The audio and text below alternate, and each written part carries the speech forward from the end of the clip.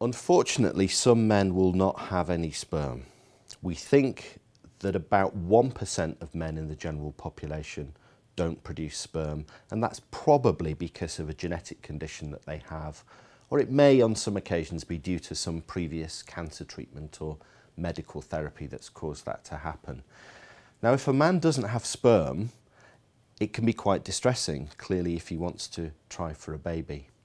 In some instances, we're able to find a small number of sperm by doing a, a, taking a piece of tissue from his testicle and looking at it under the microscope and, a, and an embryologist will will hunt around in that tissue to find sperm because although a man may not ejaculate sperm, he may still produce a few that never make it to the outside world. And if we're successful in finding sperm through that route, then that opens up the opportunity for him to use those sperm with his partner and for those sperm to be injected into his partner's eggs using a technique that we called ICSI.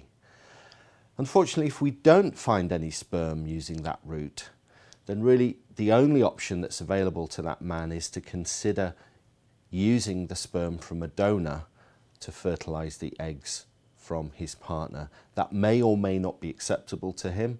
The donor could be a family friend. It could be somebody that's known to him, or it could be a donor that's anonymous to him at that point, him and his partner at that point, although any children born would have access to identifying information about that donor when they get to the age of 18.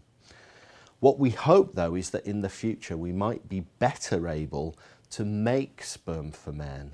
And there's been some real advances in stem cell technology over the last few years, particularly in experimental animals such as mice. We can take stem cells, either from the testicle or from other parts of the man's body, and in quite sophisticated laboratory conditions, we can actually stimulate them some of the time to grow into rudimentary sperm. Now, we're not quite there with humans. We haven't quite got to the stage where we can routinely make sperm from the man's own stem cells. But my hope would be that in the next five or 10 years, that that may well become possible.